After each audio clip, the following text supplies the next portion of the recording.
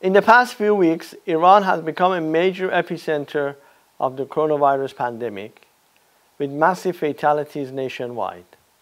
According to the Mujahideen Khalq network inside Iran, the coronavirus death toll has surged past 38,000 in more than 300 cities across the country. The coronavirus crisis has highlighted the pre existing shortage of medical facilities, equipment, and medicine in Iran. The Iranian regime and its lobby have resorted to a systematic campaign to blame the US sanctions as the main cause of the shortages and thus of the unprecedented number of fatalities and those infected. Tehran's lobby and apologists have been promoting these narratives whose objective is to force the lifting of the sanctions.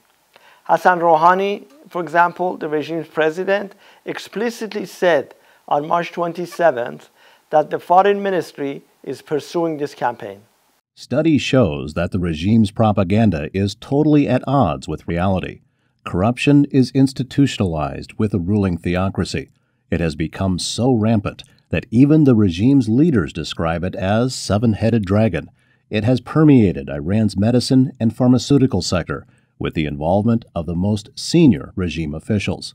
On July 15th last year, the health minister, Saeed Namaki, said $1.3 billion for the purchase of medical equipment has gone out, and no one knows who exactly has taken them and what has been brought in and to whom they were handed over. Late December last year, Abdolnaser Hemmati, the governor of Iran's central bank, said, We have provided $22 billion worth of foreign currency for the imports, out of which $11 billion have not returned to the country. What has happened to the rest of the money? as U.S. authorities have repeatedly made clear, medicine and food have never been under sanctions. Is that the United States exempts medicine and medical devices for the Iranian people from U.S. sanctions. On February 2nd, the Swiss embassy in Tehran tweeted Today, some 180,000 packs of transplant medication, part of the pilot transaction of the Swiss Humanitarian Trade Arrangement, SHTA, have arrived at Tehran airport.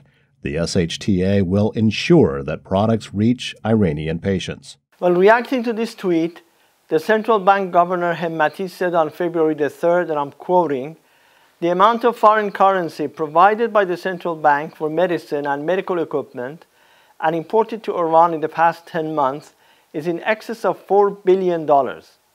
In view of the endeavors of the central bank and other government institutions we have pushed back against the sanctions and the necessary medicines have been provided. This will continue in the future, which clearly indicates that there is no problem for the regime to import medicines whenever it wants. The foreign ministry spokesman, Abbas Mousavi, added on February 4th We do not recognize humanitarian channels or anything similar. We do not recognize the sanctions. Medicine and food were not sanctioned so no channel is needed to provide them and to create all this commotion.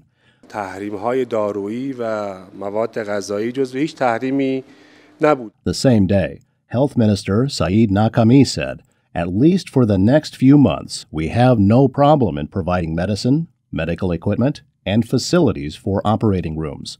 Director of the Organization of Food and Medicine announced on Saturday, March 21st, that special clothes, masks, and hygienic material are being imported within 48 hours. This makes it clear that the regime has been able to import testing kits without any obstacles since January. Well, quite remarkably, while outside of Iran, the regime claims it lacks basic needs, medicines, and equipment because of the sanctions, inside Iran, it insists that it is in total control. On March 25th, Hassan Rouhani claimed, Until today, we had no shortages of beds, nurses, or doctors. Even in intensive care units, ICU, in most cities and provinces, we have backup. Yesterday, I was particularly worried about Mashhad, but it turned out that 30% of ICU beds were empty. There is good planning in place.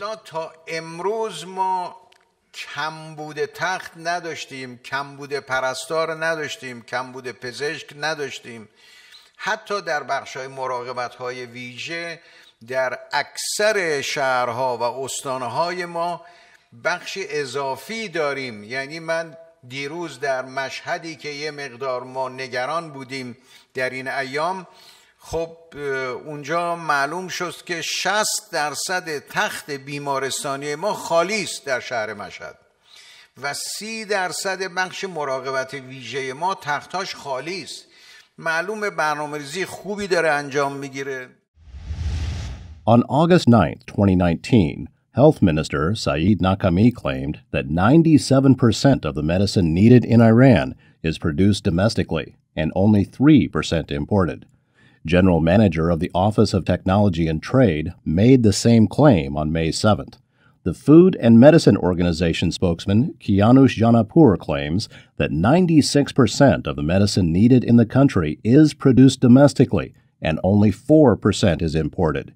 He said that the imported medicines are primarily those which are very rare or new to the market, with no comparable domestic alternatives. They also include medicines needed for very special and terminal ailments. He claimed that domestic pharmaceutical production can cover the needs of a population of 200 million people. Some officials involved in pharmaceutical production claim that Iran's level of science and production capability is among the 10 best in the world.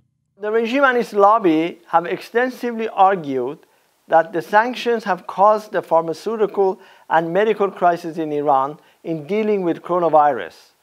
But food and medicine have never been the subject of sanctions, and their import to Iran has never been prohibited. Annually, a large portion of the country's budget is allocated to pharmaceutical production and imports.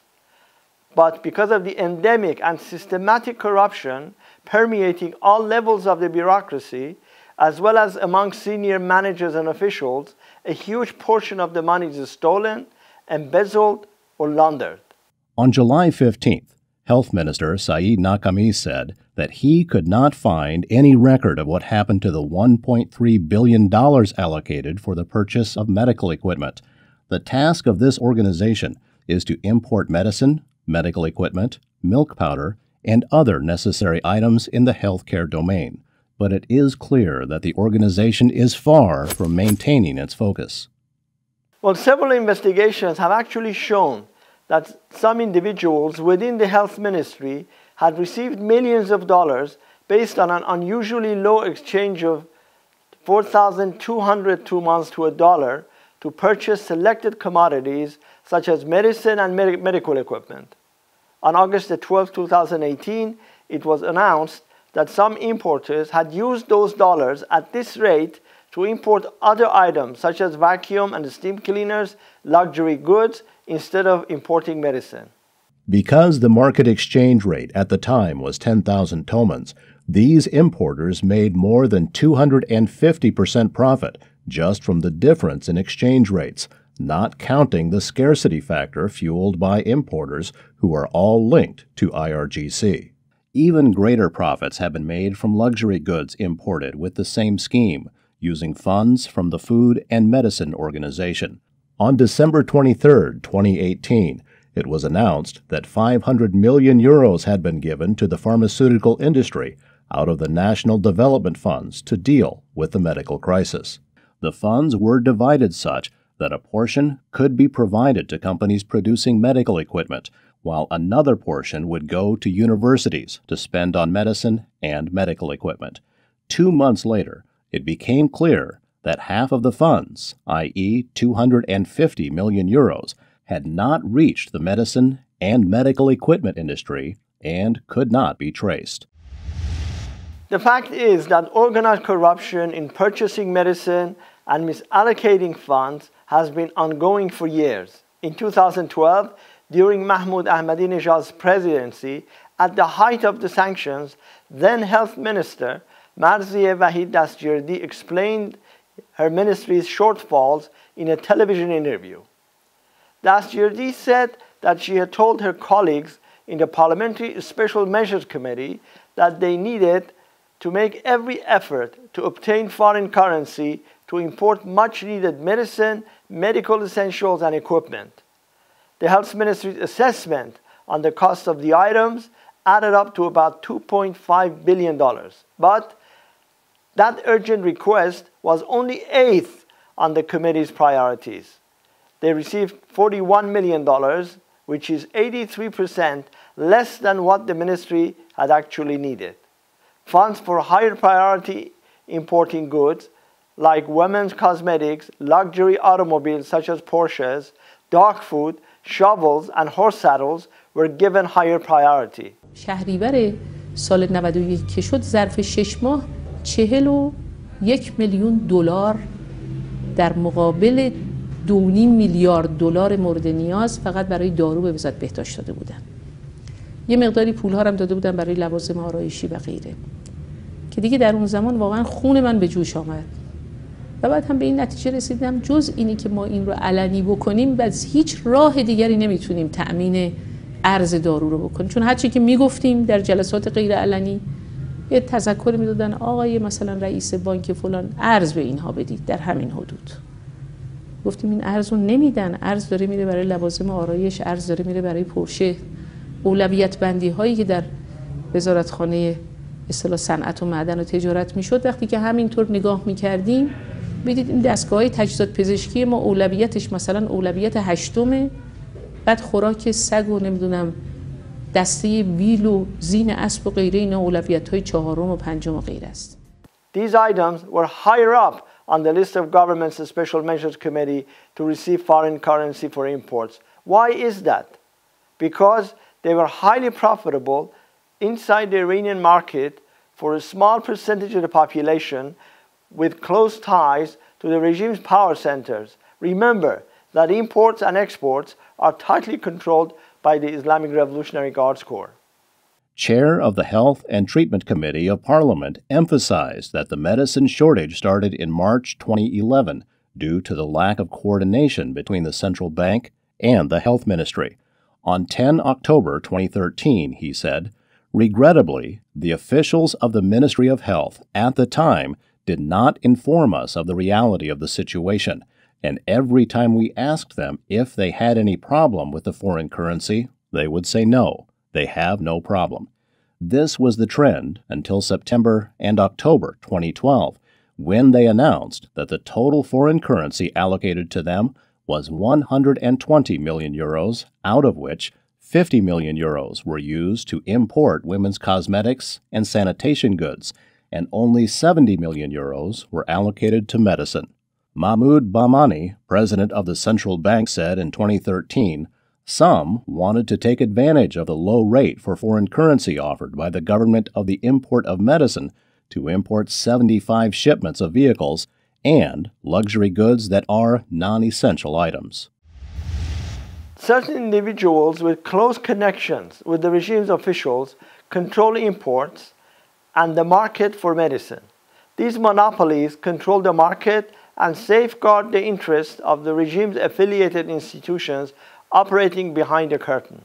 On July 25, 2018, the IRGC affiliated Javan Daily quoted the head of Pharmaceutical Production Syndicate as saying that 70% of medicine imports is in the hands of two companies, contradicting the former head of the Food and Medicine Organization, who had said six companies manage 50% of medicine imports. A while ago, some medicines such as IVIG, albumin, factor VIII, and Octaplex, which are all blood related medicines, became scarce. Most of them were widely used in hospitals and are among the strategic medicines that the Ministry of Health put on top of its list of priorities. At that time, the state run Daily Mashrik reported that a major portion of these items was hoarded in medicine warehouses an employee of a major medicine distribution company who did not want to be identified said, It can be said with confidence that at least three to four companies have these medicines in their warehouses. Monthly consumption of albumin is between 150 to 200,000 vials. It is close to a month that it has not been distributed in the market, whereas some 600,000 vials of this medicine are available in the warehouses of these companies. This can cover the country's needs for about three to four months. These companies are in fact rivals, but for the common interest, they have colluded not to distribute the medicine until its price goes up. The price of hoarded medicines amounts to around $49 million. In an interview with the state run newspaper Sharq, economic expert Ahsan Soltani said figures show that total imports of these medicines during the Iranian calendar year 1396, mid March 2017 to mid March 2018, were close to $150 million. We had about $19 million in imports from mid March to mid June of 2017. This rose to $49 million in the same period in 2018, which is a two and a half fold rise. In the past six months, we have imported $88 million of these medicines, which means an average increase of 17%. In other words, whether we consider the four month period or six months period, we should not have any shortage of these items.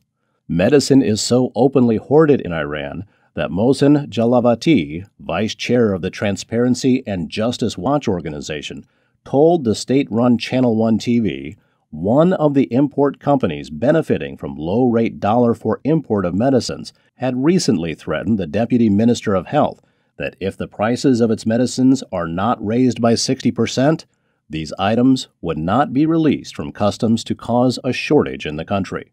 Abbas Nejad, an advisor to the Minister of Health, said some shortages in some of the medical items are not due to the sanctions but because to foreign currency allocations, storage, or distribution problems. Well, the regime also imports off the market ex expired medicines at low costs and offers them to the internal market, making millions of dollars of profit but seriously endangering the lives of the patients. On September 8, 2009, Shabnam Nematzadeh daughter of the former Minister of Industry, Mohammad Reza Nematzadeh, was arrested on corruption charges and financial impro improprieties. It was uncovered that she had been involved in imports of expired medicines. She did this with the support of government officials and presumably his father. It was reported in July to August 2018 that a warehouse had been discovered where expired medicine imported by Shabnam Nematzadeh had been stored. The total cost of medicine discovered was assessed to be about $80 million. Nematzadeh graduated from university in 1996, entered the business about 10 years ago, and quickly joined the club of Iranian female billionaires. She registered several medical related companies during the 2000s. She began trading in medicine in 2009 and managed these companies together with her mother and sister. According to a former employee of Nematzadeh's company, RASA, generally no one knew about the medicine warehouse. Only a few knew about the medicine stored, including the company director, technical officer, and another woman who had the full information about the warehouse. The pharmaceutical company that she had set up on March 9, 2015, owed the country's medical industry about $95 million. A major part of this debt was owned by Shafa Medical Group, which was affiliated with the Melli Bank. All members of Nematzadeh's family, including her husband and her 20 year old daughter, were the authorized signatories. Her 12 year old son was also among directors of the company. Prior to Rouhani's presidency, his father was also a member of the company's board, but his name was removed when he received a warning from the parliament, and the names of his children were added instead. This company had very close contacts with the Ministry of Health and received the list of urgently required medicine well in advance. There are few other medical companies with such privileges, and this gave Nematzadeh's company an advantage that allowed it to dominate the market. Well, according to several former company employees, Dastjerdi's outfit was also engaged in price manipulation. For, for, for instance, medicine bought for 10 euros would be listed as having cost 50 euros. Nematzadeh was also a member of the Supplementary Medicine Importers Union and supervised the pricing of the medicine and had information on rival com- companies' prices, so it was very easy for her to gouge the pricing. This is not the only case. The health minister said on July 16th that some of the medicine imported using low rate foreign currency included expired medicine. Those involved in this affair were working within the Food and Medicine Organization that is part of the ministry. Amid all of this corruption, the Iranian regime continues to send free medicine to other countries in the region. For example, masks and other equipment, gloves and other things. This is part of its effort to increase its influence beyond Iranian borders.